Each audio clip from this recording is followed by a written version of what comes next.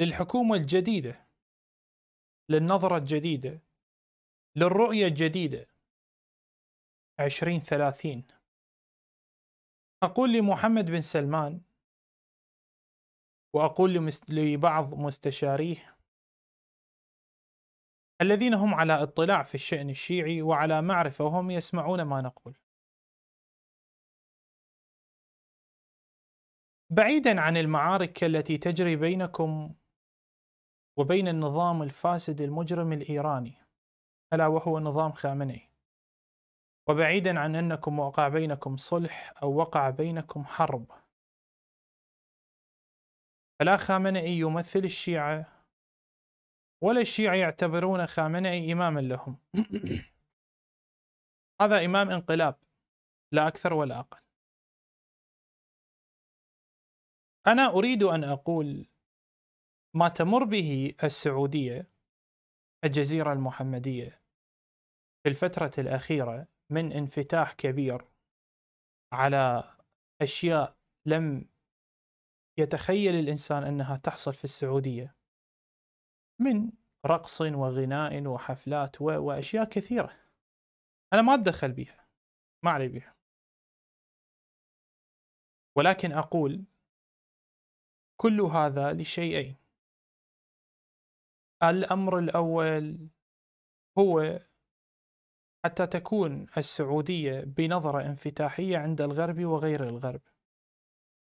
فلا يقال عنها أنها بنظرة مسلمة سنية متشددة. طيب هذا لكم. النقطة الثانية هي الاستفادة. الدولة تريد تستفاد تفتح مشاريع كثيرة. هسه بغض النظر هذه مشاريع حلال أو حرام هم ما عندهم هذه الموازين الدينية. مو مشكلة. يفتحون ما ما يريدون من من أي أشياء آه، يعني تدخل استثمارات في هذه الدولة. استثمارات في الأغاني في الرقص في الملاهي في الدق والرقص في العري في في الملاهي في الخمر في كرة القدم في ألعاب في المساء في في أي شيء في كل المجالات. هو يرى هذا استثمار وطني. يحصد آه، سياحة في هذه الدولة والسياحة تدخل دخل عالي إلى هذه الحكومة. طيب الموضوع سهل جدا. موضوع جدا سهل. تعاملوا مع مراقد أهل البيت عليهم السلام. تعاملوا مع مراقد الشيعة على أنها مكانا للاستثمار. أنت الآن عندك أئمة معصومين باعتقاد أكثر من 500 مليون نفر. وهؤلاء ال 500 مليون نفر بهم أغنياء يبنون قبب ذهب إلى هاي الدرجة. أنت شنو شنو راح تخسر إذا الآن فتحت بناء قبور أئمة البقيع عليهم السلام. وبذلك سيكون لك دخل وسياحة أكثر من الحج. خذها مني. خذها مني. اسمع زين. محمد بن سلمان اسمع زين. هذا الحج الغرفة اللي يفترون عليها الناس اللي هم مو عارفين شنو هي. مجرد غرفة. يضحكون على نفسهم الناس تضحك عليهم. ما, ما ندري شنو الموضوع. المهم الناس تفتر. ويفترون وواحد يفتر ورا الثاني. في ناس عندهم شيء بكربلة فد مقام مقدس. أشرح لك عنه ببساطة مو بطريقة عالية.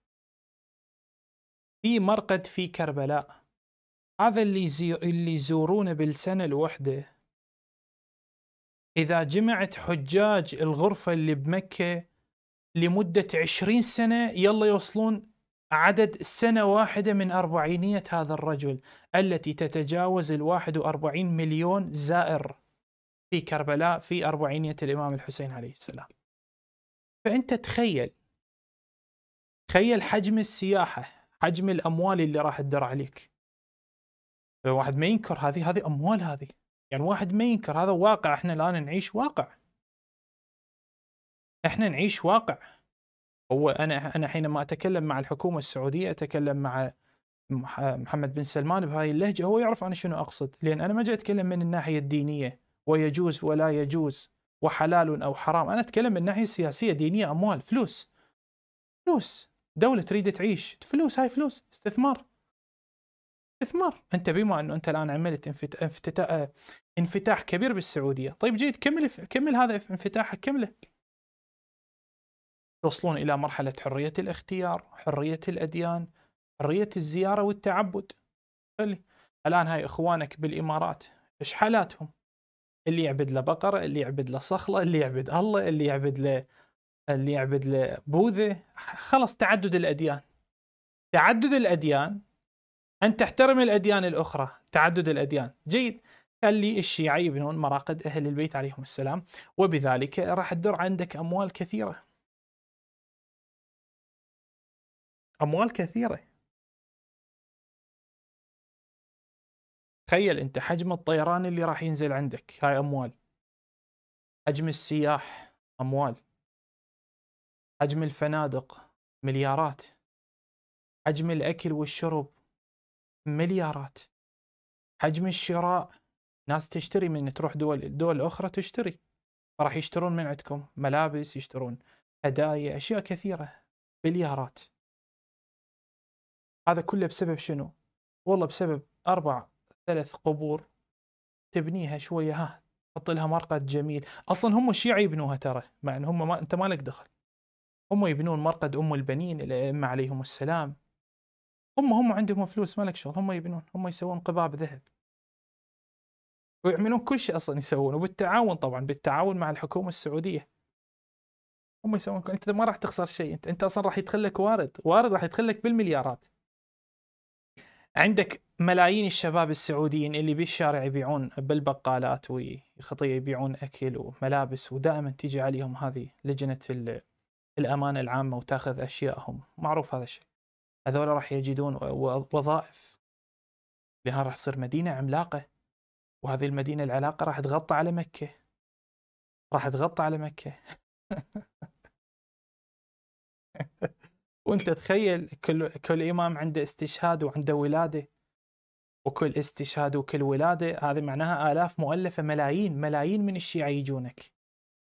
هم ذول 24 ساعة الشيعة عندهم؟ حزن أفرح حزن أفرح يحزنون لحزننا ويفرحون لفرحنا. انت كم موظف كم عامل راح يشتغل عندك هناك؟ كم سيارة راح تعمل؟ كم دائرة راح تفتح؟ راح تصير مدينة مدينة كاملة مدينة مدينة دولة دولة دولة داخل دولة أصلا. يعني أقصد دولة إدارية عملية فيها يد عاملة قوية جدا ما ما ما, ما تقدر تتوقف.